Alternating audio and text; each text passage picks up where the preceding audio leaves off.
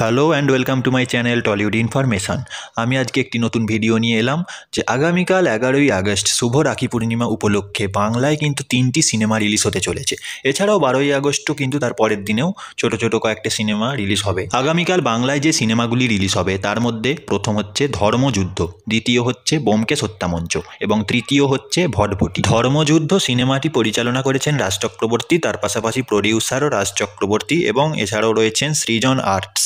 যার প্রডিউসার শ্যাম আগারওয়াল ধর্মযুদ্ধ সিনেমাটির কিন্তু টিকিট বুকিং আগামীকাল রাত থেকে চালু হয়ে গেছে এবং ধীরে ধীরে প্রতিটা সিনেমায় কিন্তু টিকিট বুকিং শুরু হয়ে গিয়েছে। ধর্মযুদ্ধ সিনেমাটি বুকমাইস হতে ছাব্বিশটা হলে বুকিং শুরু হয়েছে। এছাড়াও আরও হল রয়েছে, তবে বুকমাইস হতে ছাব্বিশটা হল রয়েছে। এখনও পর্যন্ত নন্দনে জায়গা পায়নি। অন্যদিকে বোমকেশ হত্যামঞ্চ বুকমাইস হতে বত্রিশটা হলে বুকিং শুরু হয়ে গিয়েছে, কিন্তু নন্দনে জায়গা পায়নি। আর একদিকে ভটভটি সিনেমা, একেবারে অন্য ধারার একটি সিনেমা, নতুন একটি চিন্তা ভাবনা নিয়ে তৈরি করা একটি সিনেমা, যেটি দশটা হলে বুকিং শুরু হয়েছে, কিন্তু নন্দনে জায়গা পায় এবার কিন্তু টানাপোড়েন চলবেই। যে বলবে আমার সিনেমা কেন নন্দনে জায়গা পেল না এ ও বলবে আমার সিনেমা কেন নন্দনে জায়গা পেল না।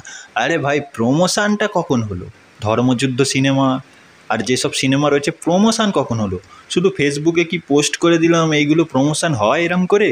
বাইরে বেরিয়ে পাবলিকের কাছে প্রমোশনটা তো করতে হবে। প্রমোশন ছাড়া কিন্তু দর্শক বেশি যায় না হলে। প্রমোশন করলে লোকে দেখবে শপিং মলে সব অনেক জায়গায় প্রমোশন করলে তাও লোক ইন্টারেস্ট হয়ে যাবে। শুধু ওই বড় বড় স্টার কাস্ট করে নিলেই কি সিনেমা সুপারহিট হয়ে যাবে? এরকমভাবে হয় না। বাংলা সিনেমা ঠিকঠাকভাবে করতে গেলে প্রমোশনটা দরকার অনেক। বিশেষ করে বাংলা সিনেমার প্রমোশন অনেক দরকার। তাই আমি রিকোয়েস্ট করব যাতে প্রমোশন করা হয়। সিনেমাগুলো। এই সিনেমাগুলো তো আর প্রমোশন করা যাবে না, আর টাইম নেই আগামীকাল রিলিজ তাই সকলকে বলব হলে গিয়ে সিনেমাগুলো দেখো, কোনটা কাকে হারায় সেটাই দেখার ব্যাপার। তো আজকের ভিডিওটা এই পর্যন্ত। পরবর্তী ভিডিওর জন্য চ্যানেলটি সাবস্ক্রাইব করে রাখুন। ধন্যবাদ।